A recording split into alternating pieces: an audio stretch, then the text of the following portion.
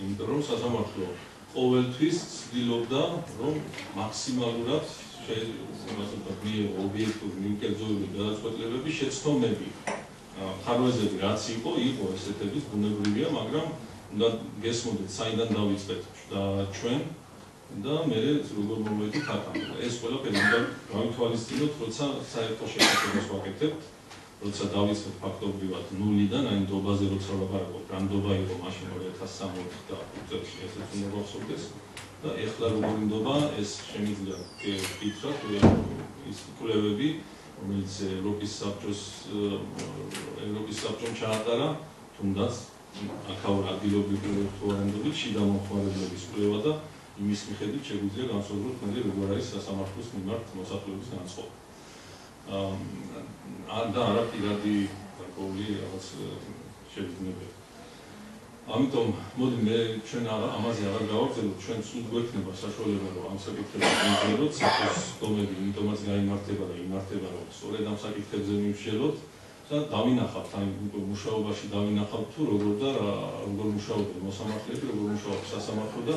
რით შეიძლება ჩვენ ხელი შევუწყოთ მათ მუშაობას. აი ეს არის რაც მინდოდა მეთქვა მე ყველას დიდ მადლობას გიხდით მოგზაურობისათვის და ასე აქტიური დასაწყისისათვის პირველი საკითხის ასე სულოვანი განხილვისათვის და გადაწყვეტილების მიღებისთვის აქცენტი არის იმაზე რომ უკვე არსებული მოსამართლეები აღარ აღარ გადაინიშნონ ასე ვთქვათ უვადოდ იმიტომ რომ ისინი არ არიან ვთქვათ არ არის მათი მიმართ ნდობა თქვენი არგუმენტები რა არის ამის აწინააღმდეგო ამ წინადად ასე ვთქვათ ამ შემოთავაზებას, იმიტომ რომ ყველა მოსამართლე, რომელიც დღეს სასამართლოში მუშაობს, არიან მეტად პატივდებული მოსამართლეები, ღირსეულების საქმის სადმე გულმოდგინე დამოკიდებული მოსამართლეები, პრაქტიკული გამოცდილება მათ ძალიან მეტია თეორიული ცოდნა ჩამოყალიბებული ძალიან მაღალ დონეზე და მიმაჩნია რომ მათი გადანიშნა უადოთ ძალიან წაადგება სასამართლოს როგორც ასე ვთქვათ საქმიანობას, ასევე მის დამოუკიდებლობას და მიეკაცება. იმიტომ მეც ასე ვთქვათ,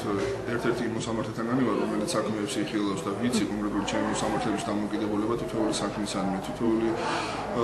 მიდგომა იმ საქმეებისადმი, რომელსაც ისინი განიხილავენ და ასე მიმაჩნია, რომ ისინი კანონიერნი. თუმცა მხარეებს უფლება აქვთ იმის, რომ ჩათვალონ თქვა ეს გადაწყვეტილება მათ სასარგებლო თუ არ იქნა, ან ჩათვალონ შეიძლება ის კანონო იყო მათ მიმართ და ამიტომ მოყოფილო იყვნენ. თუმცა მე მიმაჩნია, რომ რა საქმეც მე შეხვედრე ჯერჯერობით ყოველ შემთხვევაში იმდენად მიკერძოებული და ვთქვათ ასე ვთქვათ იმდენად მიკერძოებული და ცუდად განხილული საქმეები არ შემოხვედრე. თუმცა შეიძლება ვთქვათ შეიცვალოს ზედა ინსტანციებში გადაწყვეტილება და ჩათვალოს ერთ მოსამართლეს მიერ შესაძლოა კანონიერია, მეორე მოსამართლე თქვას რომ რაღაც შესაძლებელია და კვალიფიკაცია სხვანაირად არის ჩამოსაყალიბებელი, მაგრამ ეს არ ნიშნავს იმას რომ ახლა ვთქვათ რადგან ზედა ინსტანციაში შეიცვალება სასამართლო გადაწყვეტილება, ამიტომ მოსამართლე არის არაკომპეტენტური და არა ვთქვათ სანდოობა მის მიმართ საკმარის